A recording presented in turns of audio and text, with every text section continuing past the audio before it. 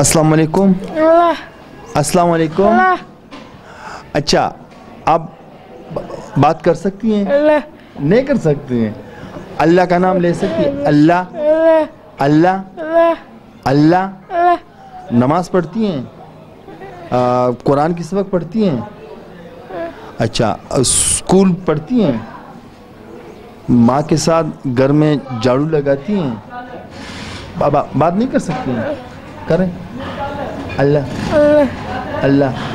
बिस्मिल्लाह। बिस्मिल्लाह। शादी कब है? आप शादी कब है? शादी कब? क्या बोलती हैं? शादी के लिए सामान चाहिए? जी अस्सलाम वालेकुम वरहमतुल्लाहि वबरकातुहू। आइना दकलतुर चैनल से मैं हूँ आप लोग का एक छोटा सा सोशल वर्कर, असगर चीमा। आइना दकलतुर का मकसद ही है माशरे की अक्कासी करना। नाजरीन, आप लोगों ने शुरुआत में देखा कि एक सिस्टर, एक बहन जो गूँगी हैं तो उनकी वालदा शादी के लिए इस आसरे पे, इस कैमरे पर बैठी हैं ताकि कोई जहेज़ का सामान दे सके इनके लिए। इसका नंबर मैं इस वीडियो में दूँगा। लेकिन ये ख़ुद ज़ुबानी अपना नंबर बताएगी। आप लोगों ने इनसे कांटेक्ट करके इनके लिए जो भी आप लोगों से हो सके तो वो आप लोगों ने करना है। जी अस्सलाम वालेकुम। वालेकुम अस्सलाम।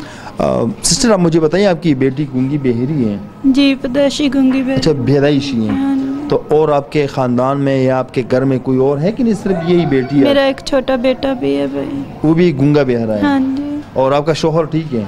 हाँ जी वो ठीक है। अच्छा तो आप मुझे बताएँ कि शोहर क्या काम करते हैं? वो रिक्शा चलाते हैं मेरे भाई किसी का। अच्छा किसी और का रिक्शा चलाते किसी और का चला और आपके बेटे कितने हैं? मेरी चार बेटियाँ हैं तीन बेटे हैं। बेटे छोटे हैं बेटियाँ बड़ी हैं। अच्छा और स्कूल पढ़ते हैं? पहले पढ़ते थे भाई लेकिन अब नहीं जा रहे क्योंकि मैं पहले मैं भी काम करती थी और मेरे शोहर जो हैं वो भी लाते थे तो कुछ बच्चों की फीसें वगैरह दे लेते थे कुछ घर का किराया दे लेते थे। तो मेरा ना डॉक्टरों ने ऑपरेशन बताया हुआ है। मेरा पेट में मसला है।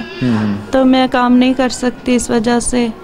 तो भाई हालात इतने ख़राब हो गए थे कि भाई आपका सहारा लेना मीडिया का सहारा लेना पड़ा। और मैं ये चाहती हूँ कि मैंने अपनी बेटी की शादी भी करनी है।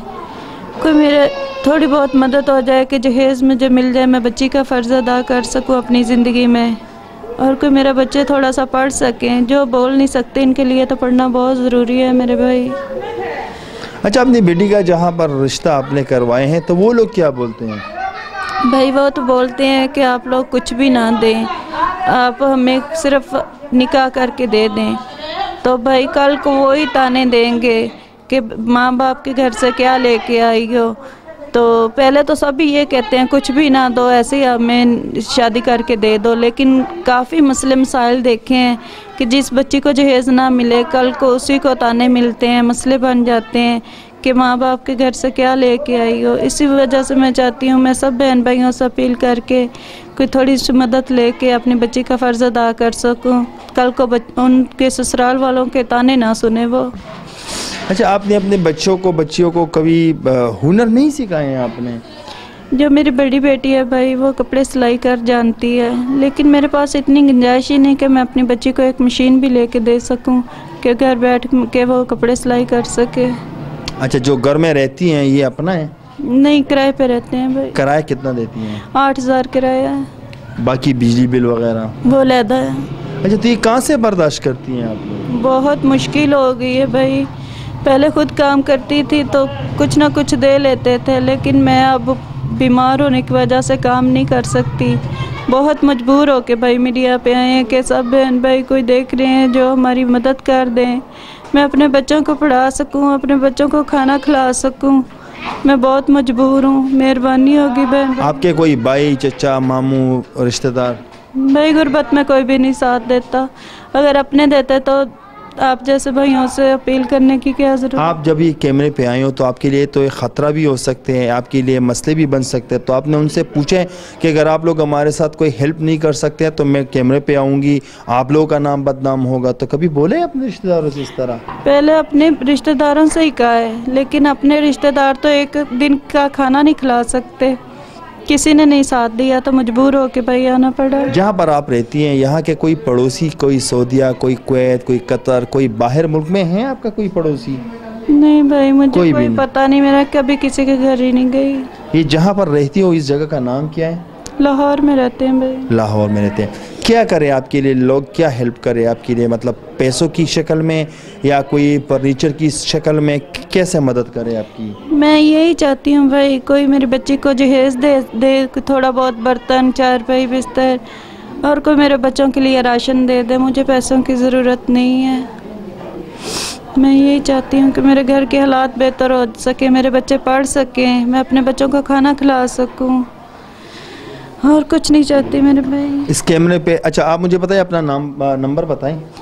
मेरा नंबर है ज़ीरो तीन सौ इकतालीस ज़ीरो चालीस इक्यासी इकतीस। नाजरीन आप लोगों ने इनकी बातें सुनी इनकी बेटी की भी जो गूँगी बहरी है ना कुछ बोल सकती हैं।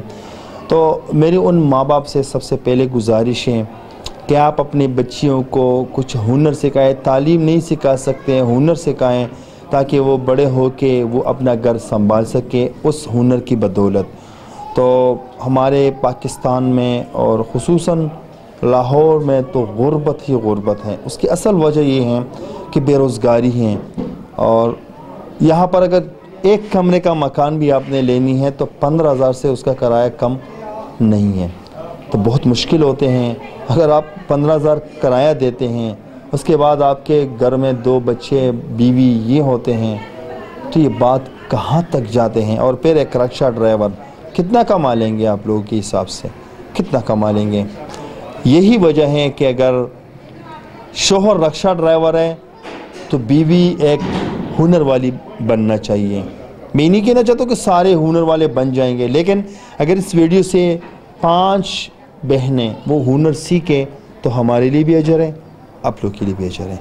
तो कुछ ना कुछ डोनेशन इनके साथ करें।